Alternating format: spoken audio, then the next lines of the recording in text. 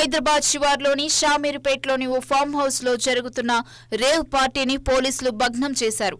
ఈ రేవ్ పార్టీపై ఎస్ఓటీ పోలీసులు దాడి చేసి పదకొండు మందిని అదుపులోకి తీసుకుని విచారణ జరుపుతున్నారు. శుక్రవారం రాత్రి షామీర్పేట్లోని ఓ రిసార్ట్లో జరుగుతున్న రేవ్ పార్టీపై పోలీసులకు సమాచారం అందింది.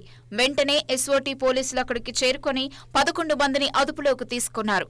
వీరిలో నలుగురు అమ్మాయిలు ఏడుగురు యువకులు ఉన్నారు. యువకులంతా డాక్టర్లేనని పోలీసులు చెప్పారు.